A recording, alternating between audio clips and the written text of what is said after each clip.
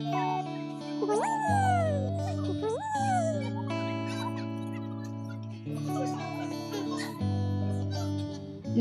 বন্ধুরা, কেমন আছেন সবাই? Welcome to my channel Sharmi's blog আজকে সকাল সকাল আজকে আরেকটি নতুন ব্লগ নিয়ে আপনাদের সাথে চলে এসেছি।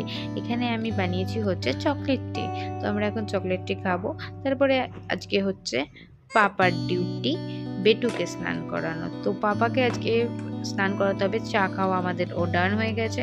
আমি চায়ের জাস্ট একটা হালকা স্লোমো নিয়ে মানে স্লোমো নিয়ে নিই নর্মাল ভিডিও বানিয়েছিলাম, ওটাকে আপনাদের সাথে শেয়ার করলাম যে চকলেটটি বানিয়েছি আজকে। তো এখন বেবিকে স্নান করাচ্ছে সুরজিৎ। তো আজকে হচ্ছে মামার ছুটি, পাপার ডিউটি কারণ মানডে টু স্যাটারডে মাম্মার ডিউটি থাকে। তো সানডে করে পাপার ডিউটি থাকে। এটা হচ্ছে আমাদের ঘরে ফিক্স এই নিয়মটা আমি বানিয়েছি। আপনারাও বানাবেন। এটা খুব ভালো জিনিস। একদিন তো বানতা হয় না, মতলব একদিন তো মাম্মিদেরও ছুটি থাকা দরকার। তো এইটা তার জন্য রুলসটা আমি বানিয়েছি। তো এটা আমাদের ঘরে হয়ে যাচ্ছে, রুলসটা এখনও পর্যন্ত চলছে। জানি না কতদিন চলবে, তাও স্টিল মাঝে মাঝে এটা তো সুরজিৎ তো বাঙ্কও মেরে দেয় এই রুলসটা মানে নো আজকে আমার হবে না, আজকে কাজ আছে কিছু বলে ওটা হয়ে যায়। বাট ঠিক আছে, আজকে তো ছাড়ার বার নাই, আজকে ওকে দিয়ে হবে ডিউটি পালন। তো এখানে স্নান করছেন, দেখছেন কত এনজয় করছে। আসলে ব্যাপারটা কি, সামনে তো টিভি চলছে কোকোমেলান কোকোমেলান দেখতে দেখতে স্নান করছে। আপনাদের ঘরেও কি এরকমই হয়? কোকোমেলান দেখতে দেখতে স্নান করে মানে কোকোমেলান না হোক, যার যেটা ফেভারিট হচ্ছে, ওনার তো ফেভারিট হচ্ছে কোকোমেলান। তো কোকোমেলান দেখতে দেখতে স্নান করছে। মানে কীভাবে যে এই অভ্যেসটা হয়ে গেল কার্টুনের আমি না বুঝতেও পারলাম না জাস্ট মানে কীভাবে হয়ে গেল? আমি মাঝে মাঝে ভাবি, কি থেকে এই কোকোমেলানের হ্যাবিটটা হয়ে গেল? যাই হোক এনিওয়ে এখানে মাথা থেকে জল ঢালার সময় কান্নাটা হয় আদারওয়াইজ অতটা বেশি কাঁদে না। ও স্নান করতে গেলে এমনি এনজয় করছিল। বাট এই যে স্নানটা মাথা থেকে চুল থেকে একদম জলটা ঢালতে এই সময় একদম তখনই ওনার কান্নাটা স্টার্ট হয়ে যায়। তো এখন আমরা যাব মিমির ঘরে। অ্যাকচুয়ালি সুরজিত বেরোবে, তো আমি ভাবলাম যে আমি তো ওদের, ওদেরকে বললাম, তোমরা লাঞ্চ করে নাও, সুরজিতের শ্রাবণ মাস চলছে, তো থার্টি ফার্স্ট অবধি চলবে শ্রাবণ মাসের মানে ও আর কি ভেজ খায় নন ভেজ খায় না। তো আমি মানে অ্যাসার সেরকম কিছু ভাবিনি। তো ওকে শ্রীহানকে এখানে খাইয়ে দিলাম সুরজিৎকেও খেতে দিয়ে দিয়েছিলাম। ওরা খেয়ে নিল। তো আমি ভাবলাম, দিদিকে বললাম, এমনি অনেকদিন ধরে ডাকে যে আয় আয় আয়। তাই আমি ভাবলাম, যাই, আজকে ওর যখন বেরোচ্ছে, তো আমিও একটু দিদির বাড়িতে চলে যাই। তো শ্রীহানকে নিয়ে বেরিয়ে পড়লাম। তখন বললাম, যে শোনো না, তোমার ওখানে গিয়ে কী লাঞ্চ রান্না কী করেছ? ও বলছে যে, আমি আজকে স্টিম ইলিশ করব। আমি বললাম, আমি একদম বাড়িতে তো কোনোভাবেই খাব না, আমি ওখানে গিয়ে যাচ্ছি। তো ওই ইলিশের ব্যাপারটা শুনে শুনে আমি এমনিই চলে গেলাম দিদির ওখানে। বললাম যে ইলিশা হচ্ছে মানে ইলিশ হচ্ছে সব থেকে বাঙালির প্রিয় ফিশ জানি না কার কার, অনেকের আবার ইলিশ ভালো লাগে না, বাবা কেন ভালো লাগে না, কীভাবে ভালো লাগে না সেটা আমি বুঝতে পারি না। বাট আমার তো ফেভারিট বিশেষ করে স্টিম ইলিশ মানে আমি ওটা প্রচণ্ড প্রিয়। ইভেন আমি সুরজিতেরও অত পছন্দ না বাট আমার খুব পছন্দ। মানে আমি জাস্ট মানে ভিডিওটা তো বানিয়েছি আগে ভয়েসটা দেওয়ার সময় ভিডিওটা দেখে নিজেরই জল আসছে যে এরম ব্যাপার, বুঝতে পারছেন? কতটা প্রিয়।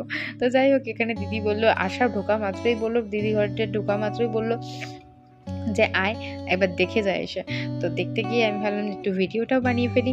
ব্যাঙ্গালোরে ইলিশ খাওয়া মানে বিশাল ব্যাপার।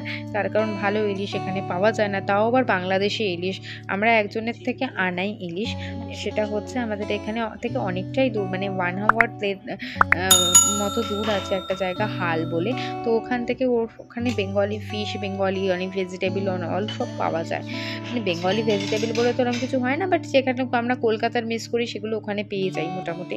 তো একটি লোককে দিয়ে আমরা ওখান থেকে ফিশ আনানো করাই।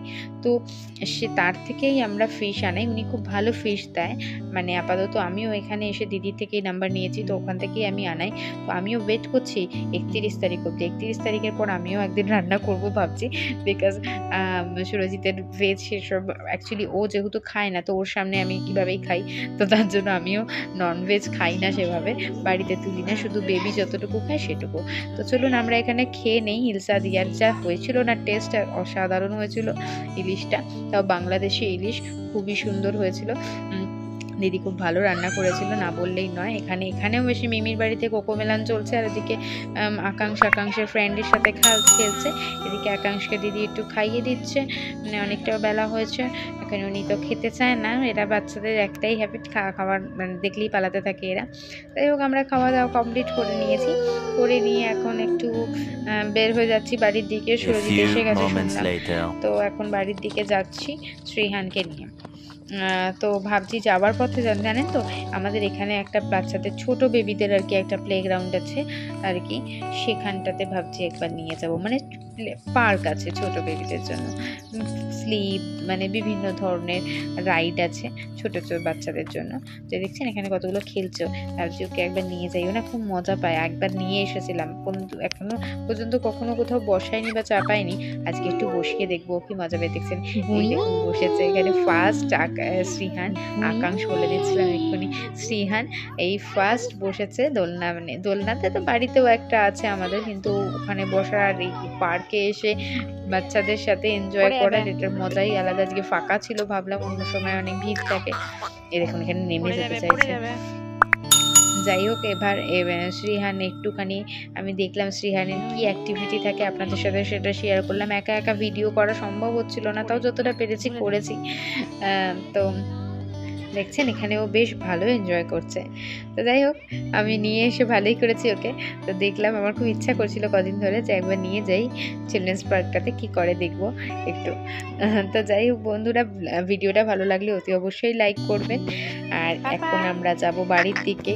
একবার স্লিপটাতেও চড়ে নেই। ভাবলাম যে বসিয়ে দিয়েছি ঠিক আছে একবার স্লিপটাতে দেখি কি হয়। তো আমি নিজেই হাত দিয়ে দিয়ে ওকে ভুই করে নামিয়ে দিলাম এমনি করে। তো যাই হোক বন্ধুরা যে- তো এবার বাড়ির দিকে যাওয়া যাক। অনেকটা টাইম হয়ে গেছে অলমোস্ট থ্রি হাওয়ার্সের মতন। দেখি সুরজিৎ ভিতরে কি করছে মানে ঘরে ঢুকে। ও তো আই থিঙ্ক ও ঘুমাচ্ছে, আরামসে। মুভি দেখছে, ঘুমাচ্ছে, কারণ ও বিন্দাস আছে। কারণ বলে, এমনিতে যাও, তোমরা কি একটু ঘুরে আসো মানে আমি একটু ঘুমিয়ে নিই। এরম ব্যাপার, আমরা বাড়িতে থাকলে এতটাই উৎপাত হয় যে আমরা ঘুমাতে দেই না নাকি? তো এখন ও নিজ্ঞাত ভালো মতন চুপচাপ শুয়ে রয়েছে। তো রেস্ট নিচ্ছে, আরামসে। তো যাই গিয়ে ওর রেস্ট নেওয়াটা আমরা এবার একটুখানি ভঙ্গ করে দিই। তো আজকের ভিডিওটা এখানেই এন্ড করছি ফ্রেন্ডস নতুন ভিডিও নিয়ে আমি খুব জলদিই আসি আপনাদের সাথে। আর শ্রীহানেরও একটু ঘুম পেয়ে গেছে, এখন গিয়ে শ্রীহানকেও ঘুম পাড়িয়ে দিই। তো সবাই খুব ভালো থাকবেন, বন্ধুরা। ততক্ষণের জন্য বাই বাই সবাইকে, বন্ধুরা।